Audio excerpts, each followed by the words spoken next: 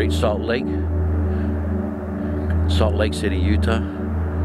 I got the beach to myself. There's like nobody here, but that's what happens when you're parked right over here, the RV park. Let me see if I can show you.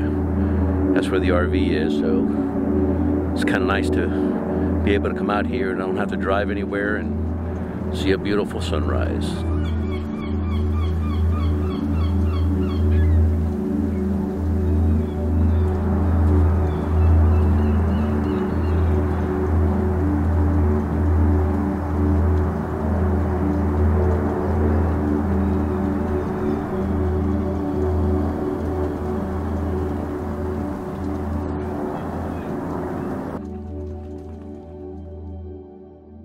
So we left uh, Bend, Oregon and kind of making our way to uh, Grand Junction, Colorado to visit some friends. But on the way to Grand Junction is a little bit of a ride, so we had a couple couple stops that we stopped. The first time we stopped in Lava Hot Springs, Idaho. Lava Hot Springs, Idaho. We had a great time. It was uh, oh. just a, a neat, neat experience. It was well worth the stop. It was very, very nice. The water was amazing. Didn't smell at all. It's very clean. Doesn't have that sulfur smell. I'm sure there's a whole geology thing behind that. But as hot as 112, which was really hot, like boiled potatoes hot to 105. 102.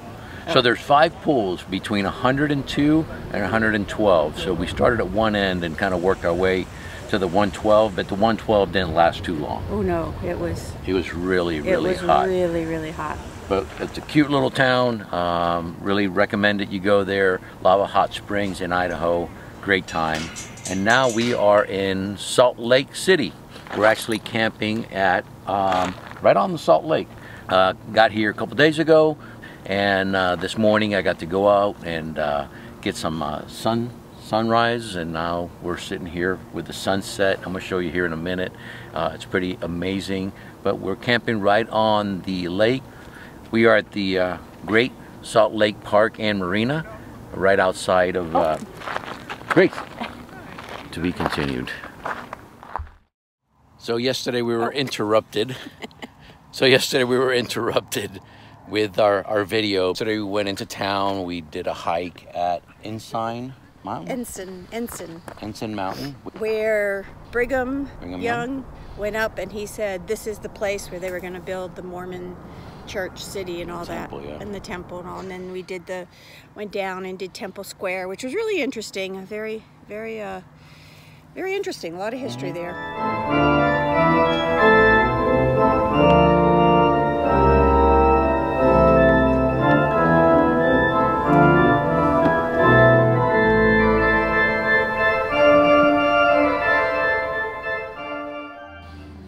down to the farmer's market today, which was one of the best farmer's markets we've ever been to. It's crazy. It was, you could spend a whole day there and, and not see everything probably. It was just a lot of things to see. Good stuff. We got some great fruits and veggies. Bread. And bread.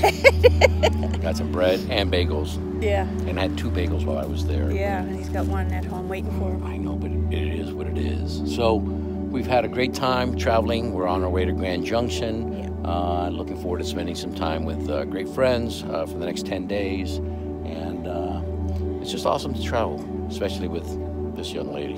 And Gracie, look at her. Although she's not having such a good time because I think it tastes really salty for